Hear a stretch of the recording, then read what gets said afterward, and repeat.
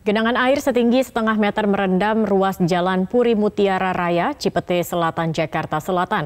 Usai hujan deras mengguyur Jakarta pada Kamis sore, luapan Kali Krukut memutus akses Jalan Puri Mutiara Raya.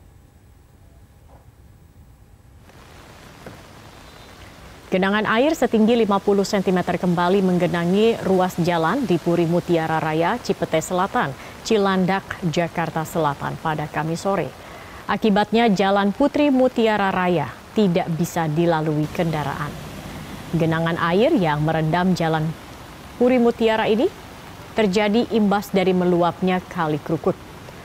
Banjir terjadi usai kota Jakarta dilanda hujan deras sejak Kamis siang tadi. Tidak sedikit sepeda motor yang mogok lantaran nekat menerobos banjir. Namun beberapa mobil berukuran besar dan truk tetap bisa menerobos banjir. Untuk sementara akses Jalan Puri Mutiara yang menghubungkan Jalan Antasari dengan Ampera maupun sebaliknya terputus.